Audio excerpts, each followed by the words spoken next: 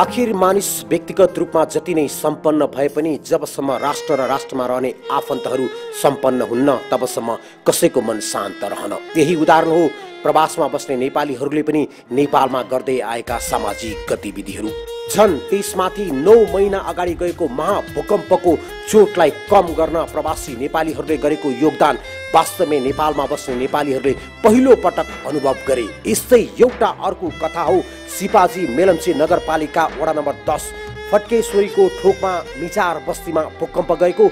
नौ महिनासम्म पनि कुनै राहत र सहयोग नपुगेका दलित क्षेत्रमा जापानमा कार्यरत समाजसेवीहरू जस्मिन श्रेष्ठ भूषण श्रेष्ठ। र कामनपा बस्ने जयराम श्रेष्ठ।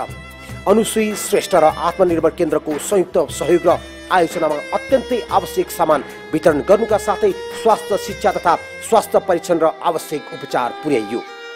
जाडोमा कठाङ्ग्रिएर पुराना चुहिएको जस्ताबाट चुहिएको पानीको चिस्यानमा आवश्यक लुगा फाटा नभएकोले आगो ताप्न चिना स्याउला बाल्दा आएको धुवाको मुस्लोले वृद्ध बाल बालिकाको छाती खराब लगायत खोकीको कारणले दम खोकीका बिरामीहरूले धेरै सताएको छ।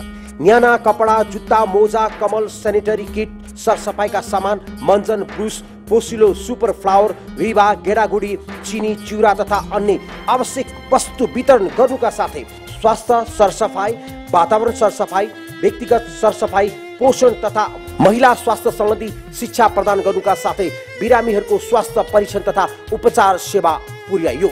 अन्त्यमा आत्मनिर्भर केन्द्रकी अध्यक्ष श्री अपर्णा भट्टले यस बेका पीडित बस्तीमा सहयोग पुर्याउनु हुने सहयोगीहरूलाई धन्यवाद प्रदान गर्नुका साथै स्थानीय बासिन्दाहरूको अत्यन्तै आवश्यक जस्ता र भूकम्पमा थिचिएका बिरामीहरूको उपचारको लागि सहयोगको पहल गर्नको लागि श्री जस्मीलाई अनुरोधका साथै आजको यो सहयोगको लागि धन्यवाद पनि प्रदान गर्नुभयो।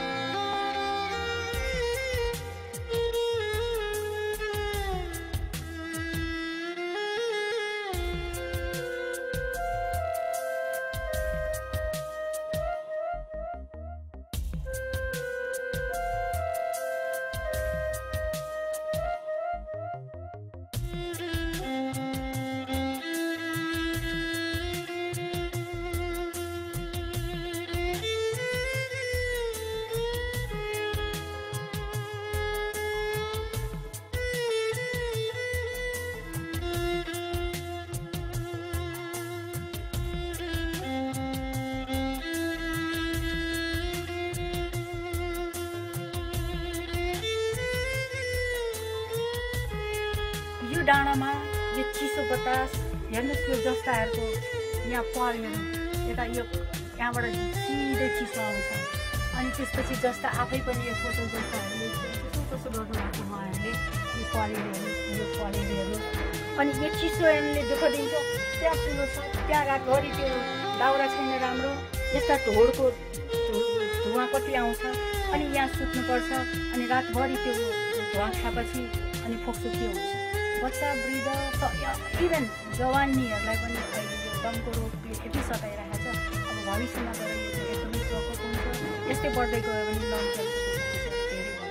बल्ल हामीले एउटा ब्ल्याङ्केट दिएको भएर बिचरा अलिकति तातो होला आश गर्नु भएको छ। हेर्नु त यहाँ ओसनको हालत।